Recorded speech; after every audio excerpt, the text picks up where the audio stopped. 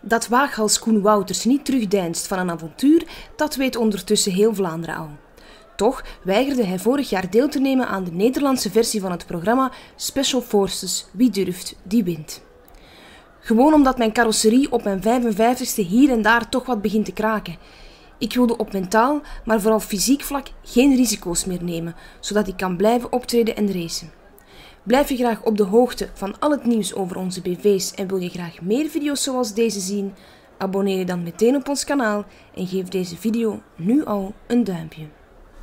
Ook dit jaar, toen VTM met het concept op de proppen kwam, heeft Koen opnieuw geweigerd.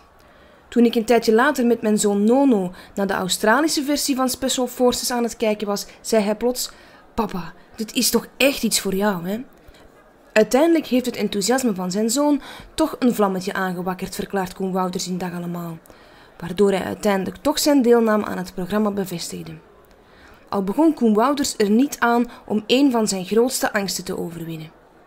Mijn grootste angst is om vastgebonden of opgesloten te worden, een vorm van claustrofobie, verklaart Koen. Hoe hij zich daarop voorbereid heeft, doet hij uit de doeken in een interview in Dag Allemaal. Om me hierop voor te bereiden ben ik op Nono's kamer in een soort kist gekropen. Ik paste er perfect in, maar de eerste keer was ik er al na 15 seconden weer uit.